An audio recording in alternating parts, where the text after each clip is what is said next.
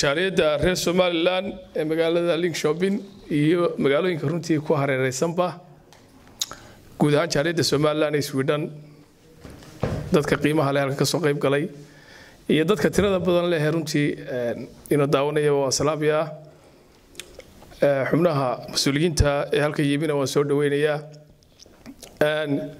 laba qodobo keliya baan runtii aan tilmaami doonaa. Marka hore waxaan u mahadnaqayaa jaaliyaddan oo runtii dadaal badani ka muuqdo. Aadna u dadaalaysa runtii guddoomiyaheeda maxamed iyo ku-xigeenkiisa. Waxaan leeyahay shaqo wanaagsan baad qabateen halkaa shaqada si aad uga sii wadi lahaydeen. Hore uga sii socda oo sii shaqeeya qurbuhu runtii uu hawl badan yahay.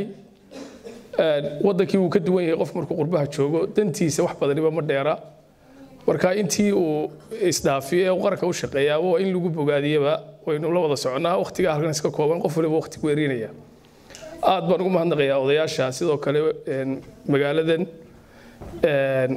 iyo guud ahaanba waddanka sweden. Qodobka labaad waxaa runtii aan jecelahay inaan tilmaamo somalilan si aad la socotaan waa dal ay ku dhaqan yihiin dad tiro badan oo uu dalkaasi iyo calankaasi mideeyo. Dadkaasi reer somalilan guud ahaan waxbaa ka dhexeeya waxaa ka dhexeeya ee isu keenaa runtii waa qarannimada weeyaan. Qarannimadaas waxay u baahan tahay in mucaarid iyo muxaafidba hareeraha laga joogo. Runtii dad badan baa marka ay xisbiyada mucaaridka ah maqlaan laga yaabaa inay maaragtay dareenka kanaana ka muujiyaan. Anigu waxaan ka mid ahay dadka ugu dhalisha badan leh xukuumadda. Dabcan mucaaradkana waan ka tirsanahay. Laakiin marka aynu halkan joogno ama guud ahaanba munaasabadaha qaranka aynu joogno arrintayna kulminaysa waa taa qaranka weeyaan. Inaynu taa niyadda ku wada hayna ayaa muhiima. Somalilan dadkeeda debadaha ku dhaqan runtii hawl badan baa u taalla inta badan qurbajooga aad baa loo canaantaa dadka guduhii markay joogaan anugu gudahana waan joogay debaddana waan joogay. Waxaa la yidhaha debadda hawl badani dadka gudaha kaga timaadaa.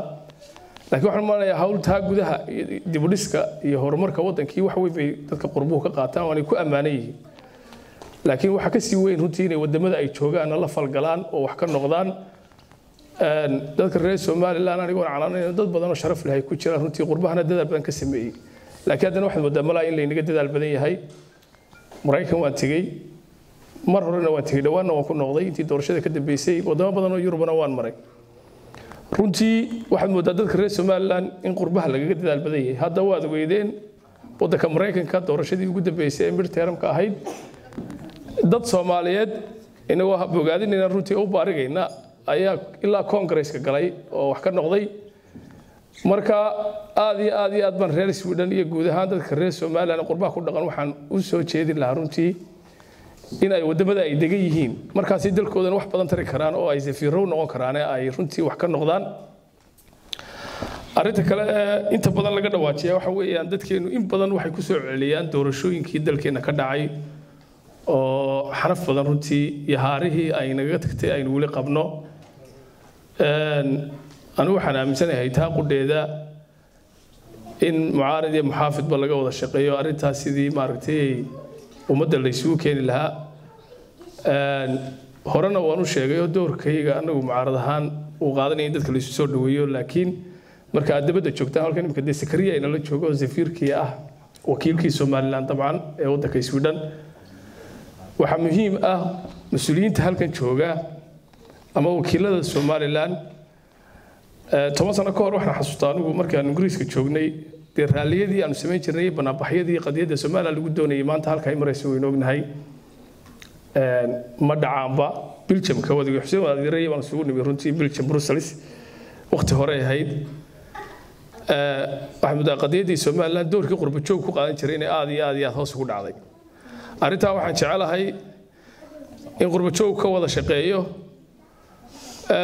qof kastaa waa safiir iyo wakiil markuu dalkiisa dabadda uu kaga soo maqan yahay in runtii isu soo dhawaashihii dalka laga shaqeeyo dadka mas'uuliyiinta hayaana ay door weyn ka qaataan oo ballaadhan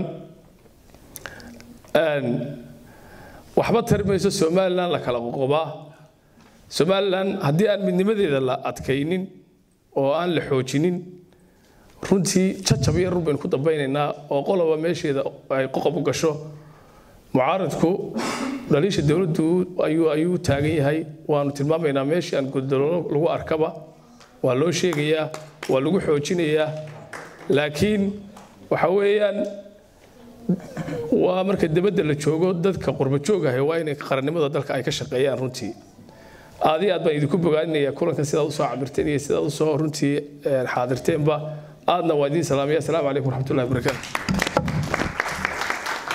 aad baad umahadsantahay muniir xadigaal waxaan hadda u yeedhayaa xildhibaan xuseen wadaadyare oo halkan isaguna iladiisa loo soo